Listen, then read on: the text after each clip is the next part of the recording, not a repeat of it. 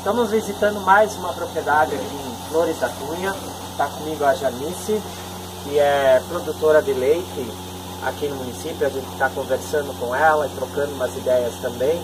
Janice, quantos hectares de terra tem a sua propriedade? Ao total são 15,1. De área aproveitável?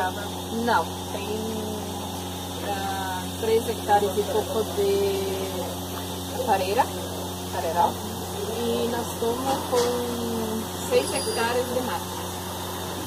E pastagem? Pastagem está com 2 hectares e meio. Quantas vacas você tem na propriedade? 32 em todo. E lactação? 16. 16 animais.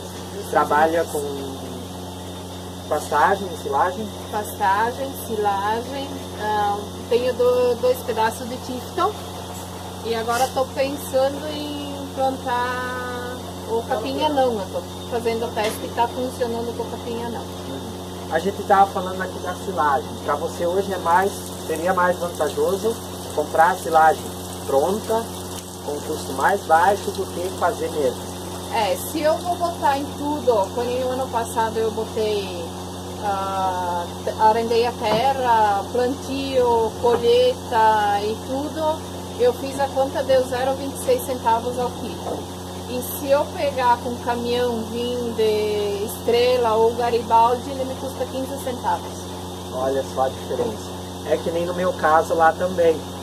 Se eu produzir e ter que pagar tudo, serviço de terceiro, para mim empata. Mas para ti já é muito mais viável comprar a silagem. Sim. E aí tu elimina o serviço na, na, na propriedade também, né?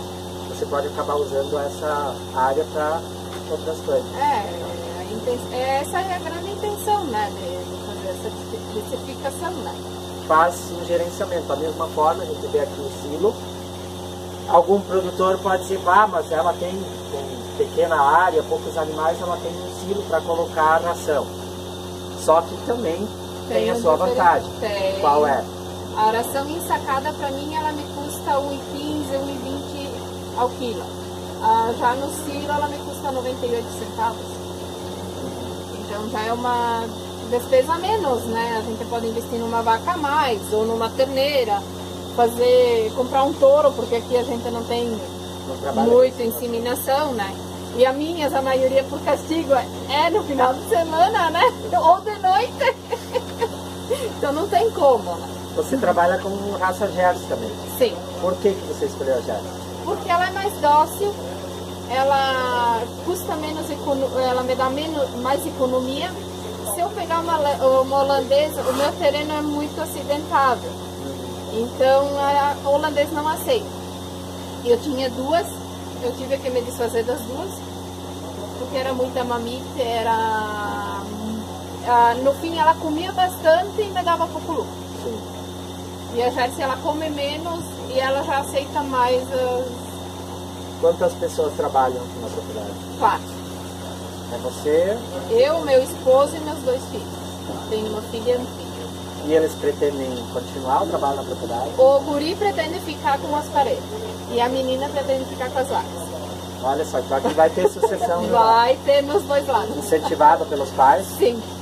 Olha só, um belo exemplo aqui, mais uma propriedade que a gente está visitando que vai ter sucessão rural.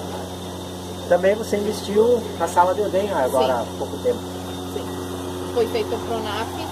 Ah, foi gastado em torno de 5.600 na construção, né? E depois tem os equipamentos dentro e tudo. Foi financiado 25, não, 45 mil. Porque foi comprado o resfriador, foi feito um outro pedaço. Sim é um investimento que também vai, Foi feito o piso. vai, vai ser pago Sim. É, com a produção de É, produção de leite.